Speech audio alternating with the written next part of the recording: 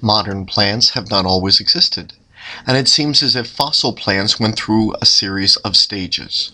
First, they moved on to land, and in the Cambrian and Ordovician, there's evidence of spores of liverwort like plants. Next, by the Devonian, they had achieved vascular tissue. They were able to grow upright by transporting water through a very short stem. Later, plants developed leaves, and these would include the early ferns and lycopods.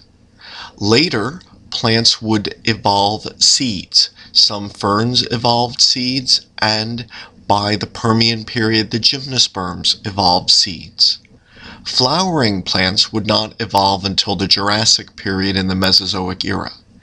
And so, as we consider the stages of plant evolution, first they moved on to land, then they developed vascular tissue, then leaves, then seeds, and then flowers. Most groups of flowering plants alive today did not appear in the fossil record until the age of mammals in the Cenozoic era.